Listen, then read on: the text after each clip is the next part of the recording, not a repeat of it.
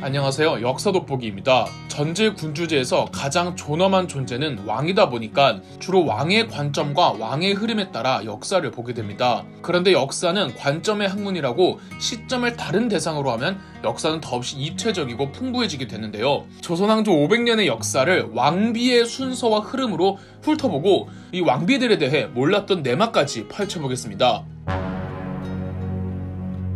조선 최초의 왕비는 이성계의 아내 신덕왕후 강씨입니다. 고려 말에는 일부 귀족들이나 군 장교들이 고려의 기본 풍습인 일부 일처제를 무시하고 자기 고향의 아내와 수도, 개경의 아내 두 명을 두는 일이 일상 다반사였습니다. 고향의 아내는 정말 자기 고향에서 결혼한 것이고 수도 개경에서 맺은 결혼은 집안과 집안을 맺어주는 정략 결혼이죠. 지금의 함경도에서 태어난 이성계는 같은 고향 첫 번째 아내를 두었고 어느 정도 무장으로서 주가를 올린 후 수도 개경에서 명문가 집안이었던 곡산 강씨 집안의 여인과 혼인을 합니다. 정략 결혼은 부부 금슬이 썩 좋지 않다는 편견이 있잖아요. 이성계와 이성계의 둘째 개경 아내 강씨는 나이 차이가 무려 21살이나 나서 그랬는지 이성계가 무척이나 좋아했다고 합니다. 둘째 아내 강씨는 이성계가 첫째 아내로부터 낳은 장남 이방우보다도 나이가 어렸습니다. 이성계가 아내 강씨에게 푹 빠진 이유 중 하나가 아내 강씨가 지혜로운 사람이었다고 합니다. 고려말 급진 신진사대부들이 고려를 멸망시키려고 할 때 이성계가 지방에서 낙마사고를 크게 당한 적이 있는데 이때 고려를 지키려던 정몽주 등이 이성계 일파를 전부 제거하려고 했습니다. 아무리 부상 중이라지만 이성계가 개경에 다시 와야 정몽주가 멈출 것 같다고 판단한 아내 강씨는 양아들 이방원을 보내서 이성계를 어떻게든 개경으로 모셔오게 했다고 합니다. 이방원이 정몽주를 죽였을 때도 분노한 이성계에게 이방원 실드를 쳐주기도 했다네요. 이성계의 첫째 아내는 조선 건국 전 사망하는 바람에 둘째 아내 강씨가 조선 최초의 왕비 신덕왕후 강씨가 된 겁니다. 태조 이성계와 신덕 왕후 사이에는 두 명의 아들과 한 명의 딸이 있었는데 태조 이성계는 그중 막내 아들을 세자로 임명하고 세자 책봉이 되지 못한 그 위에 많은 형들이 분노했다고 하죠. 하필 신덕 왕후 강씨는 40살의 나이로 죽어버렸고 태조 이성계도 점차 노쇠해지자 신덕 왕후 죽음으로부터 2년 후 다섯 번째 아들 이방원이 신덕 왕후 강씨 소생의 이복 동생들을 죽여버리는 왕자의 난을 일으키죠. 신덕 왕후 강씨가 죽었을 때 태조 이성계는 그녀를 가까이 두고 싶다는 슬픔에 도성 안에는 무덤을 만들면 안 된다는 원칙을 무시하고 지금의 덕수궁 자리에 무덤을 조성하고 막내 아들과 아내의 권위를 드높이고자 거대한 사찰을 만들었다고 합니다. 당연히 사찰은 사라졌고 나중에 왕이 된 태종 이방원은 신덕 왕후의 권위를 후궁지기로 격화시킨 뒤 무덤을 축소시켜버리고 무덤에 쓰인 석조 자재들은 청계천 다리 자재로 써버렸다죠.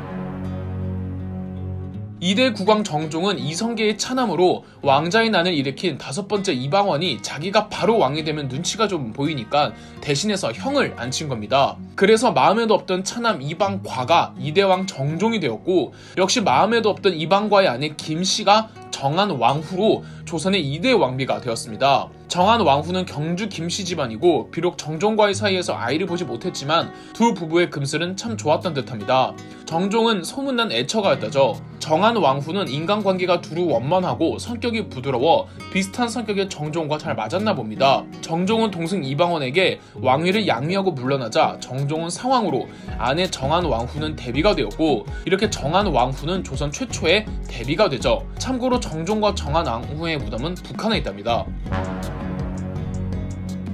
원경 왕 후 민씨는 여흥 민씨 집안으로 이방원과는 고려 멸망 전에 혼인을 했습니다. 원경 왕 후 민씨의 부친인 민재는 이방원의 어릴 적 스승이었죠. 원경 왕 후 민씨 역시 이방원만큼이나 엄청난 야심가였고 여장부였습니다. 민씨 집안의 도움이 없었더라면 이방원은 왕자의 난을 일으키지 못할 정도였죠. 아내 민씨가 주도해 처갓집 재산으로 비밀리에 사병을 키우고 무기를 숨겨두었습니다. 이 병력과 무기를 일으킨 사건이 1차 왕자의 난이죠. 이방원의 브레인 하륜이 이방원과 만난 것도 또 장인어른 민제의 추천이었죠. 그렇게 아내 민씨는 원경 왕후가 됐는데 왕이 되고부터 태종 이방원은 싹 돌변합니다. 이방원은 왕권 강화를 위해 왕실의 외가, 즉 외척의 발호를 무조건 막아야 한다고 생각했습니다. 더군다나 이 민씨 집안은 이방원 즉위에 가장 결정적인 역할을 해서 권력이 막강했습니다. 태종 이방원은 외척의 약화를 위해 일부러 수많은 후궁들을 들였고 원경 왕후는 태종 이방원과 후궁 문제로 맨날 부부싸움하기 바빴습니다. 처남 민무구 민무질이 아직 세자였던 양녕대군과 너무 친하자 나중에 양녕대군이 왕이 됐을 때를 걱정해 태종 이방원은 민무구 민무질 형제에게 누명을 씌워 죽여버렸고 몇 년 후 원경왕후의 다른 남동생들 민무휼 민무회도 죽여버립니다. 원경왕후 민씨의 집안이 풍비박산 나버린 거죠. 그래도 유독 자식들에게 약했던 태종 이방원이었기에 아들 문제에 관해서는 원경왕후 민씨의 말을 잘 들어주었습니다. 예컨대 세자를 양녕대군에서 충녕대군으로 교체할 때 양녕대 군을 저 멀리 유배 보내려다가 원경왕후 민씨가 울면서 애원하자 유배지를 가까이로 옮겨주었다고 하죠. 셋째 아들 충녕대군이 세종대왕으로 즉위하고는 왕 대비로 있다가 말라리아로 사망합니다. 2년 후 이방원도 죽죠. 세종대왕의 왕비이자 조선의 4대 왕비 소헌왕후 심씨는 청송 심씨 집안으로 세자 자리가 양녕대군에서 남편 충녕대군으로 교체되자 심씨도 세자 빈으로 책봉되어 곧이어 왕비에 올랐습니다. 왕비가 되자마자 외척을 병적으로 경계하던 사왕 이방원이 소헌왕후의 아버지 시몬을 누명을 씌워 죽이고 소헌왕후의 어머니마저 관노로 만들어버립니다. 집안이 박살난 거죠. 이방원을 지지하던 신하들은 소원왕후 폐위를 주장했지만 이것만은 세종대왕이 막아주었답니다. 소원왕후는 자애로우면서도 기강이 엄정하였다고 기록되어 있습니다. 세종 8년에 하필 세종대왕과 세자가 수도를 비운 사이 수도 한양에서 엄청나게 큰 대화재가 일어납니다. 이때 소원왕후가 직접 진화 작업을 지휘해서 궁궐까지 번지지 않게 막아내기도 했다죠. 소원왕후는 세종대왕 사이에서 8명의 아들과 2명의 공주로 낳으며 다산했지만 8명의 아들 중 차남 수양대군으로 인해 8평제도 비극적인 결말을 맞이하죠. 그나마 그 꼴을 보기 전에 죽습니다. 여태까지 조선의 국왕과 왕비가 1대1로 대응을 했죠. 그런데 조선의 5대 왕비는 5대왕 문종의 아내가 아니라 6대왕 단종의 아내입니다. 문종의 아내는 문종이 왕이 되기 전 세자 빈이었을 때 단종을 낳고 죽었거든요. 어, 문종의 아내는 왕비로 추존만 됩니다. 단종의 아내 정순 왕후 송씨는 여산 송씨 사람으로 아이러니하게 쿠데타를 일으킨 수양대군이 강제로 맺은 인연입니다. 강제로 맺어주었지만 단종과 정순 왕후 송씨 사이는 대단히 좋았습니다. 그로부터 2년 후 결국 수양대군이 왕위를 빼앗고 세조로 즉위하죠. 단종은 강원도 영월로 유배를 가고 정순 왕후는 지금의 서울 창신동에 있는 절로 출가 했다고 합니다. 거기서 강원도 영월을 향해 늘 오열을 했다고 하죠. 청계천의 영도교가 두 사람이 헤어진 마지막 장소라고 하는데 그래서 정순 왕후는 이곳에서 염색일을 하며 여생을 보냈다는 이야기도 있습니다. 그녀를 안쓰러워한 부녀자들이 이 먹을 걸 챙겨줬다고 하죠. 이후로 조카의 집에 머물며 사는데 무려 82살까지 살면서 나중엔 자기 남편한테 못된 짓을 한 신하들과 그 집안이 연산군에게 숙청당하는 것까지 다 보고 죽죠. 세조를 도운 신숙주가 정순왕후를 자기 노비로 삼으려고 했다고 하는데 이건 사실이 아닌 것으로 보입니다. 영조의 아내 정순왕후 김씨와 친구가 같으나 다른 사람입니다. 조선의 여섯 번째 왕비는 7대 왕 세조의 아내 정희왕후 윤씨입니다. 파평 윤씨 집안 사람이죠. 세조가 아내 정희왕후와도 금슬이 좋았는지 여자에 관심을 두지 않고 후궁을 딱 3명만 들였는데 이마저도 신하들의 반강요였다고 합니다. 단 죽은 단종과 단종 친어머니의 원혼 때문인지 세조와 정희왕후는 새 자식들을 전부 먼저 떠나보내야 했던 이 부모로서의 가장 큰 아픔을 겪었죠. 정희왕후는 손자 성종이 즉위할 때 최종 결정권자였으며 성종이 너무 어리자 조선 최초로 대비의 자격으로 수렴 청정을 했으며 성종이 20살이 되자 청정을 거둡니다. 손자 성종이 연산군의 엄마 패비 윤씨와 갈등을 빚을 때 패비 윤씨를 내쫓고 죽인 장본인 중 한 명이기도 하죠. 조선의 일곱 번째 왕비는 구대왕 성종의 아내 공해왕후 한씨입니다. 청주 한씨 사람으로 당대 최고 권세가이자 세조의 브레인이었던 한명회의 딸이죠. 조선의 7대왕 세조는 장남에게 왕위를 물려주려고 했으나 장남이 죽자 둘째 예종이 8대 왕으로 즉위하는데 예종의 아내도 예종이 즉위하기 전에 죽는 바람에 왕비로 취직만 된답니다. 예종도 일찍 죽자 기존에 죽었던 세조 장남의 아들이 왕위를 이으니 성종이었죠. 그러나 공해왕후 한씨는 왕비가 된 지 4년 만에 18살의 나이로 죽습니다. 성종은 아내 공해왕후더러 공경하고 유순하며 부드럽고 인자하다는 뜻에서 공해라는 시호를 직접 정하였습니다. 사실 성종의 왕비 관련해서는 진짜 주인공이 따로 있습니다. 다들 눈치채셨을 것 같은데 그녀부터는 조선왕비실록 2편에서 찾아뵙겠습니다. 지난번 조선왕비실록 1편에 이어 바로 2편 시작하겠습니다. 연산군의 생모, 연산군을 그렇게 만든 내막, 성종의 두 번째 아내 패비 윤씨부터 시작합니다. 1편을 꼭 보시고 오세요. 성종의 첫 번째 아내 공해황후 한씨가 일찍 죽자 새로운 왕비 간택을 해야 했습니다. 왕실 어른들은 새롭게 왕비를 간택하는 것보단 성종의 후궁들 중 한 명을 왕비로 승격시키기로 합니다. 성종의 후궁들 중 윤씨가 발탁되었는데 윤씨는 성품이 아름답고 언행과 행실이 올바르며 왕실 어른들한테 그렇게 잘했다고 해서 이미지가 좋았으며 성종의 총애도 듬뿍 받고 있었습니다. 파평 윤씨 집안인 것도 어느 정도 적용을 한 것 같고요. 덕분에 조선의 여덟 번째 왕비가 되었고 성종 사이에서 첫 아이를 낳기까지 합니다. 그런데 왕비가 되고 아들을 낳자 윤 씨가 변하기 시작하는데 왕실 어른들의 업신여기기 일쑤였으며 성종이 다른 후궁들과 있는 걸 끔찍이도 싫어해서 다른 후궁들이 자기를 음해하려 했다는 헛소문을 퍼뜨리다 걸렸고 방 안에서 독약이 발견되기도 하죠. 이러니 성종과 윤씨 사이는 멀어졌고 점점 윤 씨의 악행이 심해지다가 성종과 몸싸움을 하며 성종의 얼굴을 할퀴기까지 했다죠. 궁인들조차도 성종에게 왕비가 너무 무섭다고 울고 불며 고하는 사람들까지 있고 더 이상 참지 못한 성종은 왕비 윤 씨를 폐선시켰다가 아예 사약을 내려버립니다. 다만 아들만은 계속 세자로 있고 다행히 이때 세자가 어려서 세자에게는 패비 윤씨 사건을 덮어버리기로 하죠.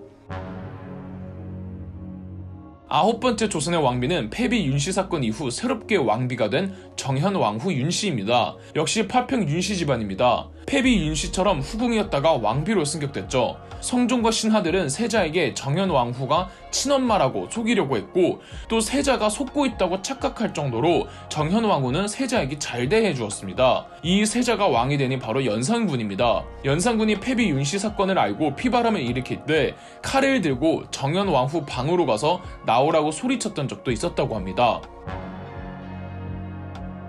열 번째 왕비는 10대 왕 연산군의 왕비 신씨입니다. 거창 신씨 집안이며 남편 연산군을 유일하게 진정시킬 수 있는 사람이었습니다. 실록에서도 왕은 비록 미치고 포악하였지만 신씨는 매우 소중히 역임을 받았다고 기록되어 있습니다. 왕비인데도 궁인들에게 늘 존댓말을 썼다고 하니 오죽했겠습니까? 연산군이 칼을 들고 정현왕 후 방에 갔을 때 말린 장본인이 바로 신씨였죠. 연산군이 쫓겨나기 일주일 전 연산군은 신씨에게 만약 당신이 잘못되면 전부 내 탓이라며 함께 울기도 했다고 하고 연산군이 폐위될 때 신씨는 같은 유배지로 보내달라고 애원했다고 합니다. 장록수나 그 많은 전국의 미인들과 음탕하게 놀았던 연산군조차 죽기 전에 했던 말이 중전이 보고 싶다 였다고 합니다.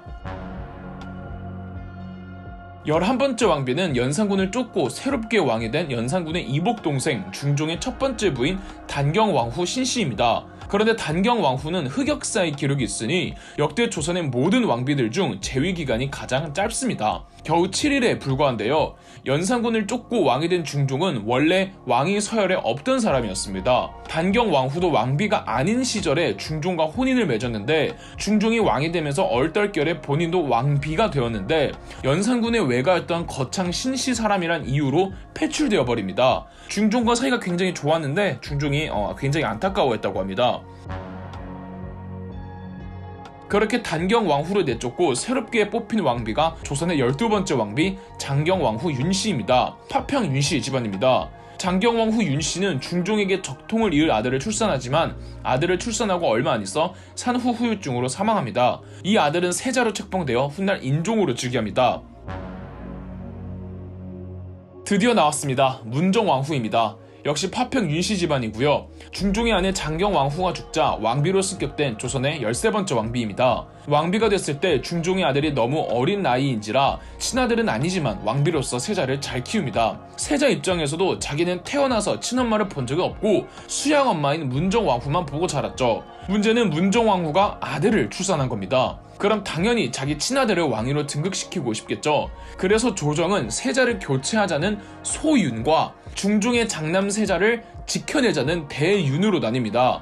세자의 죽은 친모 장경왕후나 문정왕후나 같은 파평 윤씨 집안이라 대윤 소윤으로 나뉘는 거죠. 중종은 당시 몸이 노쇠하고 그다지 카리스마를 발산하던 왕이 아니었기에 왕위 계승을 두고 신하들이 나뉘는 걸 방치하고만 있었죠. 중종이 급작스럽게 죽자 절차대로 세자가 인종으로 즉위합니다. 다만 워낙 착했던 인종은 차마 자기를 키워준 문정왕후와 비록 이복 형제이지만 어린 동생을 제거할 수 없다며 오히려 지극정성으로 대했죠. 인종이 거식증으로 죽자 문정왕후의 친아들 경원 대군이 명종으로 즉위했고 문정왕후는 어린 왕을 대신해 수렴 청정을 하면서 하면서 인종과는 다르게 적대 세력에 있던 대윤파들을 전원 다 제거해버립니다. 명종이 20살이 되고부터는 수렴 청정을 중단하지만 문정 왕후의 존재감이 커서 이 명종을 마마보이라고 여기는 사람들이 대다수였고 다 큰 명종이 문정 왕후에게 회초리도 맞았다는 일화도 전해집니다. 문정 왕후로 인해 그의 외척 윤치 세력들이 조정을 장악했고 조선 초기부터 그토록 경계하던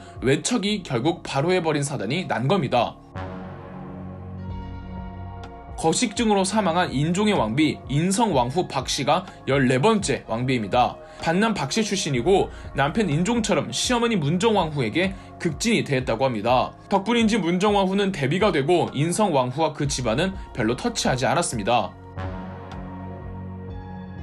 15번째 왕비는 13대 왕 명종의 아내 인순 왕후 심씨이며 문정 왕후의 며느리죠. 청송 심씨로 세종대왕의 아내였던 소헌 왕후와 같은 집안 사람인 거죠. 한자를 읽을 줄 몰랐다는 말이 있습니다. 인순 왕후는 명종 사이에서 순회세자를 낳았지만 순회세자가 일찍 죽고는 아들을 낳지 못해 명종이 죽자 결국 저 멀리 방계 왕족인 하성군을 14대 왕 선조로 즉위시킵니다. 선조도 즉위 당시 어려서 1년 정도 인순 왕후 심씨가 청정을 했으나 글을 모르고 정치에도 문외한이라 1년도 겨우겨우 신하들 도움받아 가다가 순순히 선조에게 친정을 넘깁니다. 그녀의 동생 심의겸이 조선 최초의 붕당인 서인을 만들었죠. 16번째 왕비는 14대 왕 선조의 첫 아내 의인왕후 박씨이며 반남 박씨 출신입니다. 아쉽게도 의인왕후와 선조 사이에는 아이가 없었습니다. 선조에게는 후궁에서 낳은 자식들이 있었는데 아이를 낳지 못했던 의인왕후 박씨는 후궁의 소생들을 자기 자식들처럼 대했고 특히 광해군을 그렇게 아껴서 양자로 드리기도 했다고 합니다. 선조가 후궁들 사이에서 낳은 그 많은 아이들 중 그나마 유일하게 정상인 광해군도 의인왕후를 잘 따랐다고 하죠. 다만 선조에게서는 정작 별 사랑을 받지 못했고 임진왜란 도중에 무리한 피난 때문인지 결핵으로 세상을 떠났습니다. 17번째 왕비는 임진왜란이 끝나고 50대의 선조가 새롭게 들인 무려 19살의 새로운 왕비 인목 왕후입니다. 연한 김씨 집안으로 광해군보다도 9살이나 어렸죠. 광해군에게 9살이나 어린 새엄마가 생긴 겁니다. 광해군에게 인목 왕후는 그냥 나이 어린 새엄마 수준이 아니었습니다. 광해군은 당시 세자였지만 선조는 광해군을 세자로 임명하고 싶어 하지도 않았는데 임진왜란이란 특수한 상황에서 어쩔 수 없이 옹립했던 거였습니다. 더군다나 광해군이 후궁의 소생이라 세자이 돼 적통은 아니었죠. 이때 새롭게 들어온 인목 왕후가 덜커덕 영창대군 아들을 낳아버린 겁니다. 이러면 비록 세자는 광해군이지만 적통은 영창대군에게 더 있거든요. 당연지사 선조는 나이 어린 아내의 아이를 왕으로 옹립하고 싶었지만 영창대군이 갓난아기에 불과해서 당장은 세자를 교체시키지 못하다가 선조가 죽어버리는 바람에 광해군이 왕위에 오릅니다. 인목 왕후는 인목 대비가 되고요. 근데 시간이 지나면 영창대군도 클 거 아니에요. 그러면 당연히 광해군에게 영창대군의 존재는 위협적일 수밖에 없었습니다. 광해군과 더불어 광해군의 집권당이었던 북인들도 인목대비를 벼르고 있었는데 북인 정권의 미친개로 유명했던 홍길동전의 저자 허균은 인목대비를 암살 계획까지 짭니다. 허균의 사례는 극단적이지만 북인은 어떻게든 위협적인 세력을 제거하려고 했고 인목대비와 그녀의 딸 정명공주를 지금의 덕수궁에 강제로 유폐시켜버립니다. 두 사람을 모시는 궁인들도 전부 광해군이 임명한 사람들로 사실상 감시자들이었죠. 더불어 임목대비 아들 영창대군은 6살의 나이에 강화도를 유배 보내주고 거기서 쪄 죽습니다. 이토록 광해군에게 당한 게 많던 임목대비는 광해군이 축출되는 인조반정 때 인조에게 당장 광해군 부자인 목을 가져오세요. 그 살점을 씹고 전교를 내리겠습니다. 라고 말했으며 인조가 광해군을 유배 보낸다고 하자 광해군을 죽이라고도 했다죠. 임목대비가 왕후였던 시절 아들을 낳았을 때 선조에게 시중 궁인들 400명을 고용해달라고 했던 거 보면 이 여자도 보통 여자는 아니었던 듯합니다.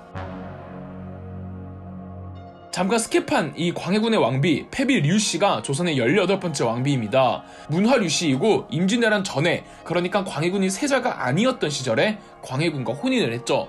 개인적으로 왕실 생활이 그녀에게는 맞지 않았나 봅니다. 불교를 유독 좋아했던 류씨는 다음 생에 환생하면 왕실 여인만은 안 되기를 빌었다고 합니다. 인조 반정 때 광해군과 함께 폐위되어 유배를 갔는데 다른 유배지에서 자기 아들과 며느리가 탈출 기도를 하다가 실패하자 자결했다는 소식을 듣고 그 우울증에 얼마 못 가 사망했다고 합니다. 이 다음의 왕비부터는 3편으로 넘기겠습니다. 3편에서는 인현왕후와 장희빈까지 나올 예정이니 3편도 기대해주세요. 지난번 조선 왕비실록 1편과 2편에 이어 3편 시작하겠습니다. 특히 조선 후기 왕실 이야기가 그렇게도 재미있는데요. 광해군을 반정으로 내쫓고 새롭게 왕이 된 인조의 왕비들부터 3편 시작합니다. 19번째 조선의 왕비는 인조의 첫 번째 아내 인열왕후 한씨입니다. 청주 한씨 사람으로 인조 반정 이전, 즉 인조가 왕이 되기 전에 결혼한 아내로 훗날 효종이 되는 복림대군의 친모입니다. 인열 왕후는 아주 유능한 사람이었다고 합니다. 인조가 쿠데타를 통해 왕이 됐으니 민심을 고려해 지나친 숙청은 피하라고 거듭 조언했으며 폐위된 광해군과 광해군의 왕비 폐비 신씨를 모셨던 궁인들을 내쫓지 않고 계속 고용해 주었다고 합니다. 어느 한 상궁이 광해군을 그리워하자 인열 왕후는 의로운 사람이라며 그 상궁을 더 챙겨줬다고 합니다. 하긴 인조가 그 모양 그 꼴인데 아들 소현세자가 그렇게 유능한 걸로 봐서 엄마 인열 왕후의 유전자 덕이 있었겠죠. 불행인지 다행인지 인열 왕후는 병자호란 직전에 사망합니다. 병자호란의 직접적인 계기였던 청나라 사신들이 인조에게 청나라 황제 홍타이지의 황제 즉위를 축하하라고 요구한 것도 청나라 사신단들이 인열 왕후 장례 조문차 조선을 방문했을 때였죠. 20번째 조선의 왕비는 병저호란 이후 인조가 새 장가를 간 장렬왕후 조씨로 양주 조씨 사람입니다. 당시 장렬왕후의 나이 14살에 불과했습니다. 너무 나이가 어려서 족보상 자기 아들인 효종보다 어렸고 인조가 죽어 데뷔가 될 때 장렬왕후는 20대밖에 안 됐고 심지어 오래 살았기 때문에 남편 인조, 양아들 효종, 자기 며느리, 양손자 현종, 손자 며느리, 심지어 증손자 며느리까지 죽는 걸 다 지켜봤죠. 예속 논쟁이라고 들어보셨죠? 상복을 얼마나 오래 입어야 하느냐를 두고 붕당간 싸운 논쟁인데 그 상복을 입어야 하는 당사자가 바로 장렬왕후였습니다. 증손자인 숙종이 즉위할 때도 대왕 대비로 있었는데 이 대왕 대비였던 장렬왕후가 발탁한 궁녀가 나중에 장희빈이 됩니다.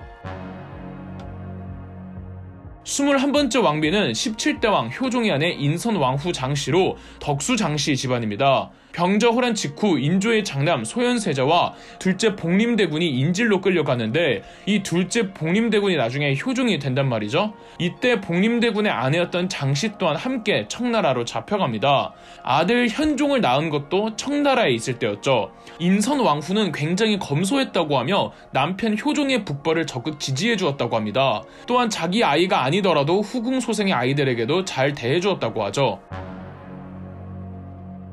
22번째 왕비는 18대 왕 현종의 아내 청풍 김씨 출신의 명성왕후 김씨입니다. 우리가 아는 명성왕후 민씨와는 칭호만 같을 뿐 다른 사람입니다. 현종과 명성 왕후 김씨 사이에서 숙종을 낳았는데 숙종 성격이 괴팍하기로 유명합니다. 그 유전자를 넘긴 사람이 명성 왕후 김씨일 정도로 명성 왕후의 성격이 개지랄 맞았다고 합니다. 오죽하면 현종이 후궁 한 명도 없었겠습니까? 아들 숙종의 즉위하고는 초반에 수렴청정을 하는 것도 아니면서 정치에 여러 번 개입했고 일부 왕족들을 왕권에 방해된다는 이유로 식구금 스캔들을 퍼뜨려 제거해버리기도 했습니다. 명성왕후 김씨는 평소 무속신 앙을 좋아했는데 한 번은 아들 숙종이 아프자 무당에게 굿판을 의뢰합니다. 그런데 이 무당이 생모인 대비가 삿감만 쓰고 속옷만 입은 채 물을 뒤집어 써야 한다고 하자 명성왕후는 아들의 건강을 위해 한 겨울에 속옷만 입은 채로 아이스 버킷 챌린지를 했는데 이후 심한 독감에 걸려 사망합니다.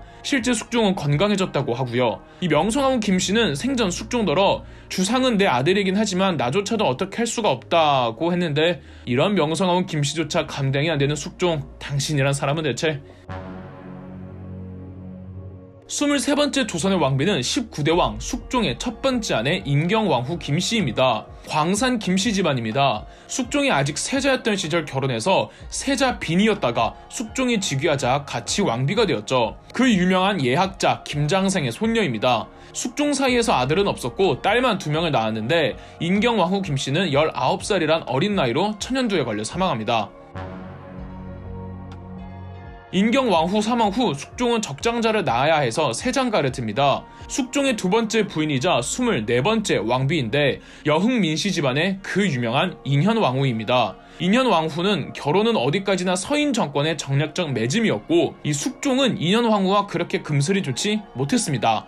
아이 한 명 없었죠. 남편 숙종은 증조 할머니 장렬 왕후 조씨를 모시던 궁인을 좋아했다고 하는데 인현 왕후가 직접 남편을 위해 그녀를 후궁으로 들이자고 주장해서 후궁이 된 이 궁인이 바로 희빈 장씨 장희빈입니다. 그런데 장희빈에 대한 숙종의 애정이 너무 남다르니 인현 왕후가 장희빈을 상당히 질투했다고 하며 인현 왕후는 장희빈의 종아리를 때리기도 했다고 합니다. 나중엔 대놓고 숙종에게 장희빈을 내쫓으라고까지 간했다고 합니다. 그러나 그녀에게 아이가 없던 반면 장희빈에겐 숙종의 유일한 아들이 있었고 결정적으로 증조 할머니의 장례 기간에 인현 왕후가 생일이었는데 이 신하들에게 인현 왕후의 생일을 챙기지 말라고 지시를 내렸는데도 탄일 문안을 받으면서 화가 난 숙종은 인현 인현 왕후를 폐비시켜 버립니다. 장희빈이 사약을 먹고 죽으면서 다시 입궁에 복위가 되긴 합니다. 그러나 워낙 숙종과 장희빈 스트레스에 시달렸는지 각종 합병증으로 1년 넘게 투병하다가 사망합니다.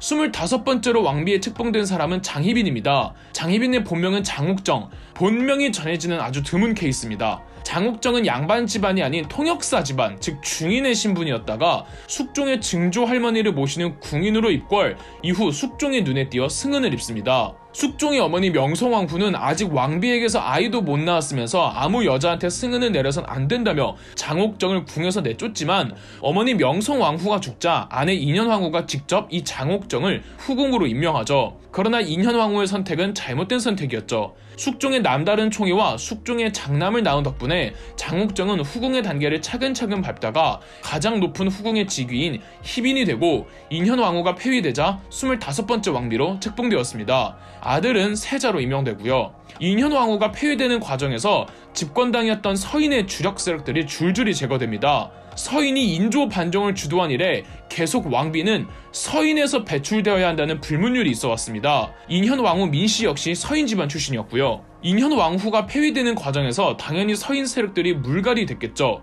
흔히들 장희빈은 당시 야당이었던 남인에서 내세운 거라고 하지만 장희빈은 아무런 당색이 없는 사람이었습니다. 장희빈이 아무리 예뻐도 중인 신분의 여인으로 권력을 도모하려던 생각 자체가 사실 터무니가 없습니다. 남인은 그저 인현 왕후가 폐위되고 서인들이 대거 숙청당하는 과정에서 이 남인들은 어부지리로 권력을 장악하게 되죠. 권력을 주도한 남인 세력은 그러나 어, 정작 지나친 권력에 취한 탓에 숙종의 미움을 사 몇 년 후 다시 숙종이 남인들을 버리고 서인들을 재등용하기도 합니다. 비슷한 시기에 느닷없이 숙종은 왕비 장옥정을 다시 희빈 장씨의 후궁으로 강등시킵니다. 왜 그랬는지는 여러 소설이나 사극에서 재해석할 뿐 정확한 이유와 숙종의 진심은 전해지지 않습니다. 그러고 인현 왕후를 복위시켰죠. 이때 숙종의 또 다른 후궁 숙빈 최씨가 숙종에게 희빈 장씨가 자신의 처소 뒤쪽 별채에 신당을 차리고 인현 왕후를 저주하게 이르렀다고 고했고 조사 결과 희빈 장씨의 처소에서 동물 사체와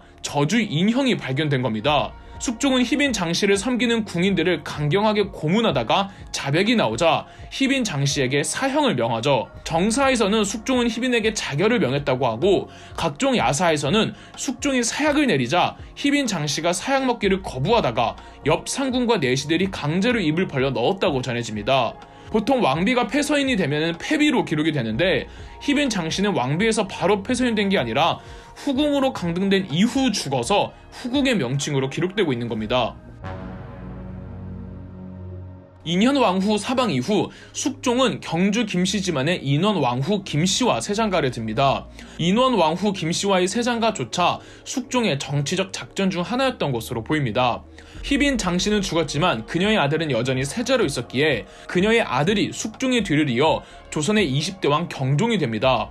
그러나 경종보다는 숙종의 또 다른 후궁 숙빈 최씨에서 낳은 왕자 연잉군에 대한 신하들의 지지가 압도적이었고 대비가 되었던 인원 왕후도 연잉군을 양자로 들이면서 연인군의 왕위 등극에 어느 정도 역할을 합니다. 이 연인군이 조선의 21대 왕 영조대 왕입니다. 숙종과 장희빈의 아들 경종의 아내 선희 왕후가 조선의 27번째 왕비입니다. 서인들은 어떻게든 세자 빈 만큼은 자기네 세력에서 배출하고 싶어서 서인 집안에서 그 중에서도 강경파 집안이었던 함종 어시 집안에서 세자 빈을 임명했죠. 세자가 왕이 되자 세자 빈도 자연스레 왕비 선희 왕후 어씨가 되었습니다. 그럼에도 선희 왕후는 남편 편이었고 신하들이 연인군을 다음 왕으로 옹립하기 위해 절차를 밟을 때 다른 왕족을 후계로 삼으려는 모습을 보였습니다. 실패는 하지만요. 영조 즉위 이후 데뷔가 되지만 석연치 않은 죽음을 맞이합니다. 경종의 아내 선희 왕후가 죽은 뒤 그녀가 썼던 초소는 나중에 사도세자의 처소가 됩니다. 이렇게 3편까지 끝이 나는데 아직 더 흥미진진한 왕비 이야기가 남아있죠. 사도세자의 이야기부터 정순왕 후 그리고 조선의 마지막 왕비들까지 저는 마지막 4편에서 찾아뵙겠습니다. 드디어 조선 왕비실록 마지막 4편입니다. 마지막인 만큼 극적인 조선 후기와 맞물려 흥미진진한 이야기들이 준비 중입니다. 영조의 왕비부터 시작합니다.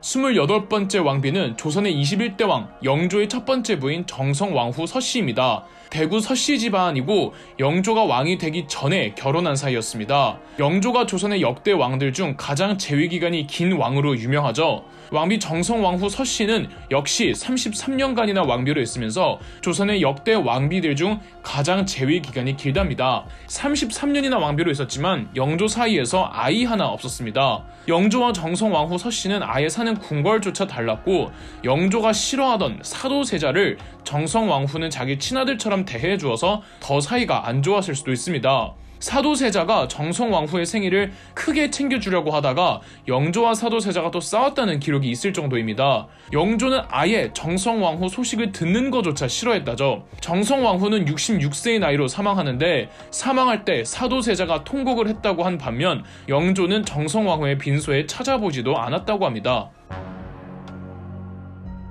29번째 왕비는 그 유명한 정순왕후 김씨입니다. 정순왕후 김씨를 안동 김씨로 알고 계신 분들 많은데 경주 김씨입니다. 영조의 첫 번째 부인 정성왕후 서씨가 죽자 15살의 어린 나이로 왕비에 간택되었습니다. 당시 영조의 나이 66살, 손자 뻘이죠. 실제 정순왕후는 영조의 손자인 정조와 7살 차이밖에 안 났습니다. 정순왕후는 어쩌면 사극이 망쳐놓은 가장 억울한 역사적 인물일 겁니다. 영조와 사도세자, 정조가 워낙 드라마적인 요소가 강해 사극으로 여러 번 나올 때마다 정순왕후는 악녀이자 빌런으로 등장합니다. 이유는 정순왕후 집안이 노론 강경파 쪽 집안이고 노론 계열에서 사도세자의 죽음을 영조에게 부추겼단 말이죠. 그러나 실제 역사에선 정순왕후는 사도세자의 죽음에 일절 아무런 관여를 하지 않았습니다. 60대의 노련한 국왕 영조가 15살짜리 왕비의 말에 휘둘렸겠습니까? 정순 왕후와 영조 사이에서 아이도 없었다는 것만 봐도 나중에 즉위하는 정조에게 정순 왕후는 큰 정치적 경쟁 상대가 아니었습니다.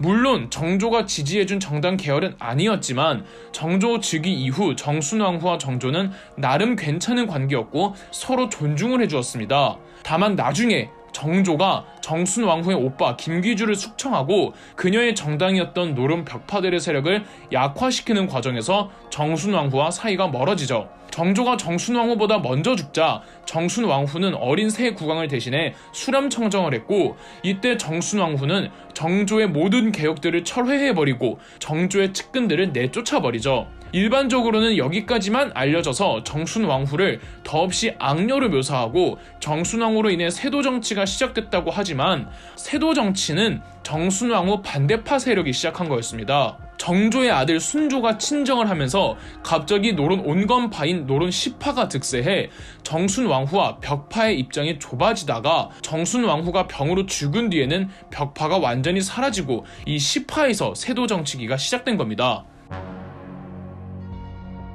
서른 번째 왕비는 정조의 아내 효의 왕후 김씨로 청풍 김씨이며 검소하고 효심이 깊으며 아주 선한 사람이었다고 합니다. 그래서인지 서로 정치적 반대파였던 시어머니 해경궁 홍씨와 시할머니 정순왕후 김씨와 모두 사이가 원만했다고 합니다. 사도세자가 죽기 전에 새손이던 정조와 결혼하여 사도세자의 죽음부터 정조가 여러 번 암살당할 뻔했던 어릴 적까지 정조의 힘들었던 나날을 모두 함께한 아내이기에 정조와도 사이가 뭐 100%까지 너무 좋기만 하는 것은 아니었겠지만 그래도 건전한 부부 관계였던 듯 합니다. 정조의 유일한 왕비이기도 했고요. 다만 아쉬운 건 둘 사이에서 아이가 없었죠. 상상 임신을 했던 적도 있다네요. 그래도 효의 왕후는 양아들 순조를 친아들처럼 대했고 순조도 효의 왕후에게 효신무로 잘 대했다고 하네요. 31번째 왕비는 순조의 아내 순원왕후 김씨로 안동 김씨입니다. 지금부터는 안동 김씨가 나오는 겁니다. 세도 정치기를 연 집안의 한 사람으로 아버지 김조순과 형제들 김유근, 김원근, 김좌근 전부 그 안동 김씨의 악명을 만든 장본인들이죠. 아버지 김조순만큼은 순조가 의지할 정도로 그래도 관록이 좀 있었으나 형제들은 그렇질 않았죠. 단 그녀만큼은 악녀는 아니었습니다. 빌런 집안이긴 하지만 순원 왕후만큼은 공정하고 정명했으며 순조가 몸이 아팠을 땐 아들 효명세자와 함께 정사를 관리할 정도로 능력도 있었습니다. 최고 관세 가문이었기에 자기네 집안 빽 믿고 까부는 부정부패한 관리들도 직접 색출해내 벌할 정도였죠. 물론 그래도 어디까지나 안동 김씨 가문이었기에 안동 김씨와 정적 세력들 예컨대 풍양 조씨와의 권력 다툼에선 집안 편을 들 수밖에 없었습니다. 서예에 그렇게 재능이 있었다네요. 순조와 순원 왕후의 아들 효명세자가 일찍 죽자 손자 헌종이 24대 왕으로 즉위했습니다. 따라서 헌종의 아내였던 효현 왕후 김씨가 32번째 조선의 왕비가 되었죠. 효명세자가 죽어서 원래 왕비가 될 수 있던 세자빈 조씨는 자기 아들이 왕이 되니 곧바로 대비가 되었습니다. 그런데 이 조대비가 안동 김씨의 정적이었던 풍양 조씨였거든요. 풍양 조씨의 득세를 견제한 안동 김씨 가문에서 일부러 헌종의 아내를 안동 김씨에게서 배출해내게 한 겁니다. 다만 효현 왕후 김씨는 16살의 나이로 일찍 죽습니다. 효현 왕후 사망 후 헌종의 할머니와 엄마가 간택한 두 번째 왕비 효정 왕후가 33번째 왕비입니다. 효정 왕후는 남양 홍씨 가문으로 안동 김씨도 풍양조 씨도 아니죠. 왕비 문제를 두고 두 가문이 너무 치열하게 싸우니 두 가문이 모두 아닌 남양 홍씨로 합의한 것으로 보입니다. 효정 왕후는 상당히 오래 살아서 나중에 러일 전쟁이 터지기 직전에 사망합니다. 헌종은 첫 번째 아내 효현 왕후와 두 번째 아내 효정 왕후 사이에서 어떤 아이도 보지 못했습니다. 34번째 왕비는 철종의 아내 철인 왕후 김씨입니다. 드라마로 유명해지신 분이죠. 세도 정치가 극에 달했던 당시 당연히 안동 김씨이고요. 철종 자체가 안동 김씨가 옹립한 왕이거든요. 단 이미 궁궐엔 왕실 여인들이 많아서 철인 왕 후 김씨는 드라마처럼 쾌활한 성격이 아니었습니다. 그럴 수가 없었죠. 당시 나라 분위기도 안 좋고 말이 별로 없고 전면에 나서는 캐릭터도 아니었다고 합니다. 그래서 기록도 별로 없습니다. 다만 고종이 즉위하고 데뷔로 있다가 강화도 조약으로부터 몇 년 후 사망하죠. 조선의 마지막 데뷔랍니다. 남편 철종 사이에서 아들은 있었지만 너무 일찍 죽습니다. 드디어 나오셨습니다. 35번째 왕비. 그, 네. 이 영상에서는 정말 짧게 소개만 해드려야 해서 이 명성 황후에 대해 깊이 있는 이야기를 하기가 어렵다는 점 양해 말씀 부탁드립니다. 명성 황후가 왕후가 아닌 황후인 것은 나중에 고종이 황제가 되면서 추승이 됐기 때문입니다만 고종은 명성 황후가 죽은 이후에 왕제로 등극했기 때문에 명성 황후는 생전에 왕비로만 있었고 황비의 대접을 받지는 않았습니다. 고종은 아버지 흥선대왕군이 옹립해준 왕이고 고종 재위 초반에는 흥선대왕군이 섭정을 했단 말이죠. 세도 정치를 극도로 혐오했던 흥선대왕군은 고종의 왕비를 간택할 때 권력이 너무 비대해질 외척을 만들어서는 안 됐습니다. 동시에 고종은 왕이 서열에 없다가 왕이 된 케이스라 왕권의 체면을 위해서 그렇다고 아무 집안에서나 왕비를 데려와서는 또 안 됐습니다. 이 모든 딜레마를 충족시켜주는 집안이 여흥민 씨 집안이었습니다. 조선 후기로 올수록 여흥민 씨 집안의 위상은 별 볼일 없었지만 한때 여러 번 왕비를 배출한 집안이라 그래도 여전히 그 존재감은 컸죠. 적당히 명망 가문이면서 자기가 마음대로 주무를 수 있다고 생각한 집안이었던 거죠. 하지만 흥선대왕군의 결정적인 실수였죠. 흥선대왕군의 섭정을 끝낸 것도 명성황후가 신하들을 부추긴 것이었고 시아버지와 며느리 관계를 조선 역사상 최악의 worst 커플이기도 했고 서로가 서로를 못 잡아먹어서 안달이었죠. 서세 동점과 청나라 일본이 조선의 주권을 두고 서로 알력 다툼을 하던 그 어지럽던 시기 명성황후는 지나칠 정도로 중국, 청나라에 의지했고 이로 인해 조선이 열강 세력들에게 잡아먹히는 그 단초를 제공해버렸습니다. 청일 전쟁 때 청나라가 나락가면서는 러시아를 통해 일본을 견제하려다가 일본 정부가 고용한 낭인들에 의해 잔인하게 시해되고요. 고종은 명성 황후를 너무 좋아하고 의지해서 좀 더 답답했죠. 조선의 마지막 왕비는 순종 황제의 아내 순정 효 황후입니다. 순종의 두 번째 와이프인데 첫 번째 와이프는 비록 나중에 황비로 추종되지만 어, 황태자비 시절에 죽어서 황비가 되지 못했거든요. 순종 황제의 아내 순정 효황후는 해평 윤씨 집안 사람으로 해평 윤씨 집안에서 황태자비를 배출하려고 엄청난 로비를 했다고 합니다. 순정 효황후는 아주 극적인 인생을 살았죠. 일제 강점기가 시작되고 대한제국 황실 대부분 일본으로 강제 유학되는데 순종 황제와 순정 효황후만 남아 창덕궁에 기거했죠. 순종 황제 사방 이후로 혼자만 한국에 있다가 해방 후에는 이승만 정부에게 찬밥 신세를 당했습니다. 6.25 전쟁 때도 서울을 떠나지 않겠다고 하며 황실에 근엄함을 보였 고 서울을 점령한 북한 인민군들도 그녀를 어쩌지 못했다고 합니다. 1966년 사망하십니다. 이렇게 조선의 왕비들을 쭉 훑어봤는데 폐비가 된 경우를 포함하고 실제 제위했던 왕비들의 수가 36명인지도 저도 준비하면서 알았습니다. 이 36명 중 파평 윤씨에서 가장 많은 5명의 왕비를 배출했고 여흥민 씨, 안동김 씨, 경주김 씨에서 각각 3명을 배출해 공동 2등입니다. 이렇게 왕비의 시선으로 역사를 훑어도 재미있죠? 여러분도 가끔은 시점의 변화를 달리해서 역사를 보시면 새롭게 다가올 겁니다. 그럼 역사 돋보기였습니다. 영상 재미있으셨다면 구독과 좋아요, 알림 설정까지 해주시면 감사드리겠습니다.